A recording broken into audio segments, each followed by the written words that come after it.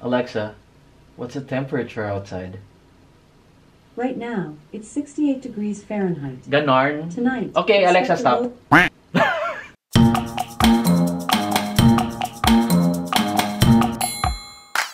What's up guys? Welcome back to my channel. And for today's video, I'm gonna show you my shoe collection. Wow, kala mo dami. Konti lang to guys. Para masagot yung mga nagme-message sa akin kasi gusto daw nila makita yung shoe collection ko. So, na-intriga sila sa, sa background or itong nasa harap ko. At kung bago ka lang nabisita dito sa channel ko, ako po si Vince, Filipino YouTuber dito sa US. So, gumagawa ako ng mga buhay Amerika at mga Filipino living the American dream na vlog. So, kung ganun yung gusto mo, or kahit hindi, sana masuportahan mo naman to by clicking the subscribe button and yung notification bell para updated ka every time may bago kong upload. So, normally nag-upload ako every Wednesdays and or Saturdays, 12 to 1 p.m. Manila time at sumasagot tayo sa mga comments doon sa latest video. Kaya, Justin Yedrix, yon Salamat Kuya Vince, nakaka-stress pa lang minsan mag-work. Kuya Vince, ha ha ha. Iba talaga pag gusto mo yung trabaho kaysa pag kailangan mo lang talaga. Ganon. Angas ng new look mo ngayon, kuya. Kasing angas ang edit sa museum. Uy, thank you, thank you, Justin Yedix. Ganun talaga, it's part of growing up, adulting, kumbaga. So, minsan, kahit ayaw mo yung trabaho mo, matututunan mo rin sa along the way na mahalin siya. Kasi yun yung, kumbaga, ano may bread and butter. Nax, bread and butter. Yan yung bubuhay sa'yo, kaya tutunan mong mahalin. Para sa'yo rin naman yun eh. Pero kung hindi ka talaga masaya, marami namang ibang work na nag-aantay sa'yo at yung para sa'yo talaga. Alan Mikael Kuwang. What's up, Vince? Love the dynamics of your vlogs, kaya laging nakaabang every Wednesday and Saturday. Pa-shoutout na lang ng malutong shout pang good vibes. Shoutout to you, Alan Mikael Kuwang. Yan, ganong kalutong, bra. Shoutout to you. Buang. Me and Mrs. waiting for our application to US, so your vlogs have helped us so much in preparation din. I'm like you, si Mrs. ang nurse, sabit lang ako talaga po. Alam mo yan. Did you however get to do all SSN, driver's license, and such din? Kasi planning to get there first before looking for a job. Background ko is on animals. So hope hindi ako matagal na palamon lang. Thanks and Godspeed currently residing in Brunei. Hello, hello sa mga kababayan natin dyan sa Brunei. Lalong-lalo na kay Alan Mikael Kuwang. So going back dun sa question mo about SSN at driver's license. Yes, of course, pagkarating ko dito, dito ko na rin inantay yung SSN syempre at yung driver's license. So dumating ako dito nung February, inantay ko lang dumating yung green card ko ba or SSN. And then that's the time na kapag-apply na ako ng driver's license. Oo, tsaka I recommend na nandito ka muna bago ka makahanap ng work. Kasi syempre, mas madali ka naman makontak ng mga employers kapag nandito ka compared to kung wala ka pa dito, di ba? At doon sa issue na magiging pal ka for a few months, it's normal. Hindi lang ikaw yung dadaan doon. Naranasan ko siya again 3 months ako bago ako nagka-work. I heard a lot of similar stories gaya nung sa atin, so wag ka mag-alala, Alan. Rapo Mouse, Kuya Vince, medyo trending ngayon sa TikTok yung mga issue na kapwa daw Filipino na nakitera sa abroad, yung mga bashers na mga content creator tulad nyo. Tapos madalas daw yung kapwa Filipino din na nakakahalubilo nila sa abroad is yung humahatak sa kanila pababa, mga siraan, etc. So far ba sa experience mo? Share naman dyan, ha ha ha. Pigilan mo ko. Joke lang din. May mga nag-message sa akin na nasa ibang state na mga Pilipino. Okay, so ang dami ko daw alam, kararating ko lang dito. Again, hindi ako nagmamarunong. Ang mga sinishare ko lang is yung mga first hand experience ko at yung mga unpopular opinions ko. So, so kung para sa iba is nakaka-offend yun or ang labas sa kanila is mayabang, I'm sorry, pero I'm not sorry. Ganun. Kaya, I don't know. Pero ito, uh, Rapo Mouse, personally, wala akong na-meet na yung ganito nga, yung parang basher in person. Siguro ang mga keyboard warrior, like sa Instagram nagme-message or sa Messenger, ganyan. Pero I don't really care kasi meron ako ibang mas dapat pagtuunan na pansin, like iba kong problema, ganyan. Hindi yung mga ganun. Nakakainis eh. Nainis ba? hindi, joke lang. Yung mga, yung mga ganun hindi pinapansin, pero pinsan pinapatulang ko eh. Rich Juan Chan. First, pa-shoutout Lodi. Shoutout Rich Juan Chan. Scary naman yung museum na yan. By the way, Vince, yes, content suggestion ng Lexus RX. Ito talaga promise guys, yung next vlog is review ko dun sa Lexus ko. Dapat kasi talaga, yun yung vlog natin today. Kaso, ang ingay kasi sa labas, nagpapaano kasi kami today, nagpapaayos kami ng lawn. Meron kong hardinero sa labas. Papakita ko talaga yung ano, yung pruweba guys. Ayun, tingnan nyo yung itsura, ayun, no? wawalisin pa niya yan or I don't know. Basta yan, nagpapamaintain kami ng lawn. Today lang naman para mabuhay siya ng todo. And driving conditions in Chicago or US in general compare sa driving experience in Pinas. More power bro. Damdam ko nakabisihan mo on going back to office setup. Haha. Don't worry, we are all here to support your channel. Keep it up. Thank you, thank you. Rich Juan Chan. Grabe talaga as in sobrang busy na nung bumalik sa sa office kasi syempre I have to drive ng malayo, gigising ng maaga pag uwi dito, syempre magcho-chores pa. So parang You feel me? ba? Sige, sa susunod na vlog, yung review nga ng Lexus at yung compare natin yung driving experience ko dito sa US compared sa Pilipinas. John Del Di Mayuga, pasensya na tipid. Comment ko nakaraan, Kuya Vince, ha? Ngayon, makakomment na ako sa mga next vlog kasi maluwag na sked ko. O, talaga mo. By the way, may I ask po Kuya Vince kasi medyo nalilito pa rin po ako dito. Ano po bang pagkakaiba ng passport sa visa? So, John Dale Di Mayuga, at para sa ibang mga viewers na nalilito, ano ba yung pinagkaibahan ng passport sa visa? So, passport, yun yung government issued ID na kailangan mo ipakita. Every time magta-travel ka internationally, yun yung kailangan mo. Yung visa naman, yun yung ini-issue ng isang bansa na pupuntahan mo para authorized or legal ka makapasok doon sa bansa nila. Let's say for example dito sa US, yung US visa, dinidikit yun sa passport. So kapag magta-travel ka dito sa US, dala mo yung passport mo na may visa kasi kapag wala kang US visa, walang sa-isa yung passport mo, lalo kung galing nga sa Pilipinas kasi tayo kailangan natin ng US visa para makapasok ng Amerika. Meron din namang ibang bansa na hindi dinidikit. Kumbaga, ini-stamp nila yung visa sa passport. Yung pumunta ako ng Malaysia at nung Hong Kong, alam ko tatak lang yun eh. Tapos hindi mo na-apply yung visa na yun. Again, dyan, Dale de Mayugat para sa ibang nalilito. Pag pupunta kayo dito sa US, a-applyan mo muna yung visa bago ka makapunta dito. Unlike, kunyari, tayo mga Pilipino magta-travel tayo sa Hong Kong, sa Malaysia, or yung mga ibang bansa na hindi kailangan applyan ng visa, upon entry na lang yung pinaka-visa na itatatak nila. Does that make sense? Ang gulo ko mag-explain pero sana gets nyo. Meron mga bansa na hindi kailangan applyan ng visa beforehand. Yung mga visa na yun, itatatak na lang pagkarating mo na. Like yun nga, yung Hong Kong, Singapore, Malaysia. Pagka-enter mo na dun sa bansa na yun, dun mo lang ipapakita yung passport mo, tapos itatatak nila yung visa na yun. Gets? Yun, sana na-explain ko ng maigi. Kung hindi, let me know. Rian Edquibal, hello po Kuya Vince. Hello, Rian. Pa-shoutout po. Shoutout to Rian Edquibal. Hello sa'yo dyan. Ask ko lang din Kuya kung nag-work po ba yung recommendation dyan. Like for example, po, may gusto mag-recommend sa akin sa company niya and direct hired po ba yun? So kapag ni-recommend ka naman niya and if yung company naman, yung employer na yun is willing to sponsor you for a work permit, work visa, eh di okay. So feeling ko makakatulong pa rin yung recommendation. Pero that doesn't mean na ni-recommend ka is makukuha ka na agad, di ba? Nandun pa rin yun sa employer if they're going to sponsor you or not. Kent Ronald Ladera. Bro, kilala mo si Jordan Trey Boyd? Hindi ko siya kilala personally, pero ang alam ko ano siya, isa siyang Chicago Hooper. Tama ba? Ah? Yes, isa siyang Chicago Hooper dito sa amin. Arnold Booker, was good bro, was good! Ikaw ang Lodi, sneakerhead, sheesh! Mukhang busy-busyhan ka na sa work ulit. Back to normal na or new normal I could say. Wala ka na kasing Wednesday upload. Sorry naman. By the way bro, bothered ako dyan sa AJ1 Island Green behind you. Tinutukan ko pa sa IG mo, yung rack na yan. Hinahanap ko yung nylon, hindi ko makita. Nylon? Nangangain bro. Taga Cebu pala si Max mo. Minsan ginawa ko din Manila Antipolo yung Cebu. Grabe. Wala lang, share ko lang. Kaya medyo kasabot ko din magbisaya. Uy, bisaya ka pala, bay. Mga buwang ta. Pastilan. Joke. Ingat bro and God bless. God bless you too. Ingat din Arnold. Thank you, thank you. Anong, what do you mean? An yan ba yun? Yung ano, anong rock? Hindi ko magets. Actually, papakita ko rin man pala sa inyo lahat. Kaya, let's go. Bilang ipapakita ko na sa inyo ngayon yung mga shoe collection ko, ipapakita ko na rin sa inyo yung mga for sale kong sapatos. So, ito. Ito yung currently on sale sa aking inventory. Wow! Ilan ba to? 1, 2, 3, 4, 5. Lima tong nandito. Isa-isahin natin guys. Wait lang. Para makita nyo. Baka madamage yung, yung box. Alam mo na, hindi pwedeng madamage pati yung kahon. So, itong una is Air Jordan 1 Mid SE White Black Multi. Ano ba to? Ah, Jordan 1 Mid na diamond shorts. Size 9 and a half siya guys. Diba? Parang nag-unboxing lang ng sapatos. Bango talaga pag bango sapatos, no? So, ayan. And then, ito yung pair, ka-pair niya. Ayan po siya. Air Jordan 1 Low G or Golf, size 13. Na, ah, ito. Ulit. Air Jordan 1 Low Golf. Colorway is, yun nga, yung Wolf Gray. Ayan. Size 13. Laki. Air Jordan 1 Retro High OG. Size 12 and a half. Ito yung dark marina blue. Charan! Naka, ano pa, unlaced pa siya, guys. And then, it comes with, yun nga, yung blue laces. Nandito, yung first hole pa lang naka-lace. And then, it comes with black and white laces. Ayan, dark marina blue. And then, ito yung ka-pair niya. Ayan.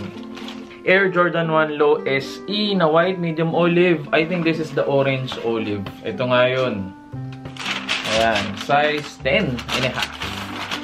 Tcharan! So, ayan, itsura niya. Size 10 and a half, orange olive.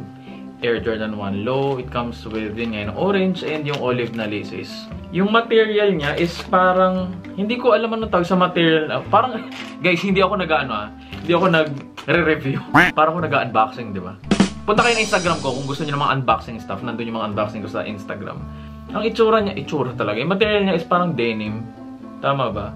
And then ito is parang velvet ba tawag dito? Or yung suede pala. Velvet. So ayan, suede. Hindi ko masyado hinahawakan. Baka madumihan syempre. Air Jordan 1 Mid SE Dark Chocolate size 9.5. Tcharan! So ito siya. Itsura niya guys. Diba? Naamoy talaga ano. Brand new to guys. Huwag kayo mag-alala. Ang bango kasi. Parang yung bagong kotse, diba? Ganun yung amoy. Medyo suede din siya. Ano, tama ba? Suede ba tawag sa ganito? Tapos no-book. No-buck yung material. Ayan. And then, yung palang yung mga pambenta ko, guys. Ngayon, ipapakita ko na sa inyo yung talagang mga personal collection ko. Collection! Meron akong maliit na ano. Dior na Air Jordan 1. Naks. Dior. Ang cute eh, no? Ba't ba hindi focus Ayan. Ewan ko ba, ang cute talaga eh, no? Tingnan nyo yung sole. Oo, oh, ba? Parang yung tunay lang eh. Tapos, meron din siyang paper bag tsaka shoebox. Ang kulit eh. Tapos, itong mga, alam nyo na, mahilig ko talaga ako sa pa Power Rangers, guys. Ayan, ito sa akin talaga yan. Yung isang set niya, nabenta ko na kasi pinabidding ko nga siya sa eBay.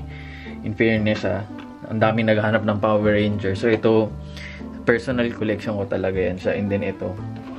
Mga libre ko nakukuha kasi nga, di ba, nagko-collab ako with different brands. So, ito, libre ko rin siya nakuha. Mga memorabilia ng soccer. Siguro alam nila na may nagsa-soccer din ako. Manchester, Grealish.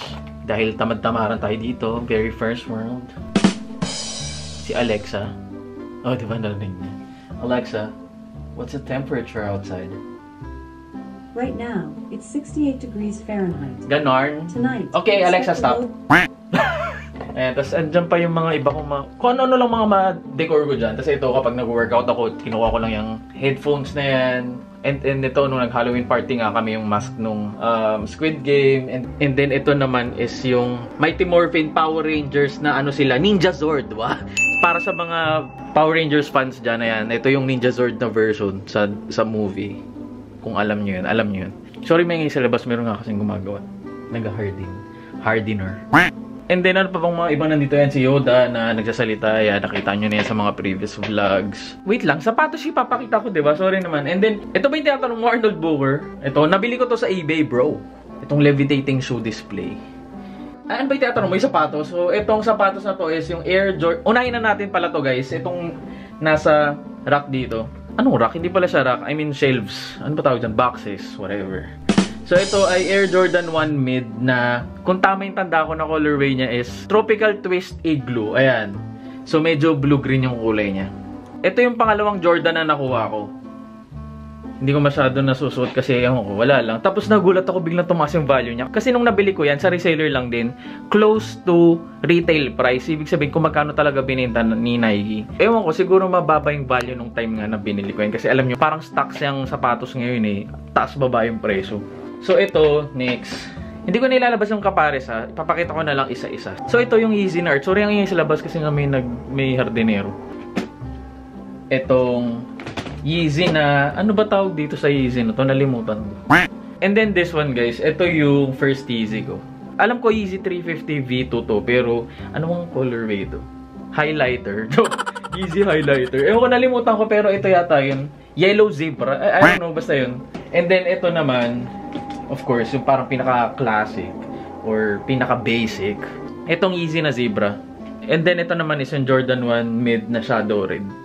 Hindi ko pa siya nasusuot kung kit kita nyo naman. Ayan. And then, itong susunod, ito yung pinakauna kong Jordan actually. Ito yung pinakauna kong Jordan guys. Jordan 1 mid na USA. Ito yon. And then, ito nga yung nasa pinakababa, yung nasa display. Kung curious ko bakit siya yung nilagay ko dyan, wala lang din, hindi ko alam. Sige, pagpapalitin ko para meron tayong shoe of the day. Wow. Ganun. And then, punta na tayo dito sa kabilang aisle. Wow, kabilang aisle. Ito, sorry, sobrang dumi guys. Gamit na gamit kasi. Ito yung Aqua, ano ba to? Jordan 1 Mid Aqua.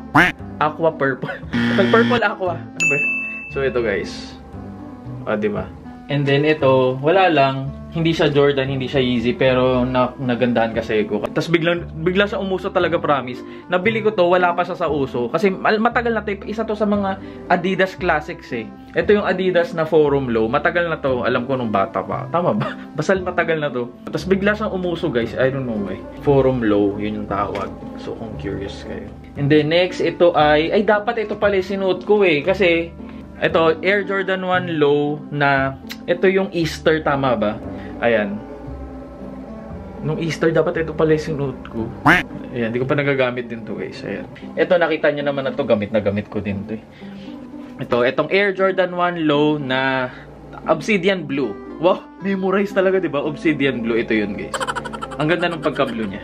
So ito, ang dumi pa kasi gamit na gamit ko siya guys. Sorry naman. Or sa kalumaan na lang. Itong Hurachi na Nike Hurachi. Ayan. Ang dumi, sorry. Matagal na kasi talaga to sa Pilipinas pa lang yata to eh. And then ito, magre-release si Nike nito guys. Ay dito sa US ha, hindi ko alam sa Pilipinas pero syempre bilang meron tayong mga connections. Wow, ay ba't wala pala ako sa ano. Magre-release nga si Nike nitong um, Air Jordan 1 mid na Navy ano ba tawag dito? Ah, Navy ba yun? Arm Armory Navy, ayan. Armory Navy. Dark blue siya. So, navy blue nga yung kulay. Kung mapapansin nyo, puro ako mid tsaka low kasi guys, siyempre, hindi naman ako, hindi naman tayo katangkaran. Parang ang weird naman na nakahay ako, diba? Tapos punggo ko. Wala lang, parang hindi ko siya kaya dalhin. Kaya more on mid tsaka low talaga yung sapatos ko. Tapos itong mga nasa baba kasi, I just cleaned them. Tuyo na yung mga yan, huwag kayo magalala. Kaya may mga toilet paper dyan. Pinantuyo ko. Ito, nakita nyo na yan kasi recently sinuot ko nga tong Nike Air Max nga 2020 na Tokyo Olympics. Ang mahal nito ngayon guys. Alam nyo ba nabili ko to sobrang mura lang. Parang $60 ko lang to nabili. Brand new syempre. Ayun, ngayon parang ang mahal niya na sa StockX. I don't know. Hindi ko na siya mabebenta doon kasi nagamit ko na syempre. Tsaka pa sa akin naman talaga yan. Hindi ko naman pambenta. Next, itong Jordan 1 mid band. Na ito last. Yung Chicago na white heel. Ito, isa to sa mga paborito ko. Of course, we're in Chicago, baby. Ayan, ito yung Jordan 1 mid na Chicago white heel. Ayan. Ito, of course, isa sa mga parang basics. Dapat meron ka nito bra. Ano, um, NMD, syempre. Meron ako NMD dun sa baba. Yung galing pang Pilipinas. So, yun yung pangharabas ko. Ito pang display.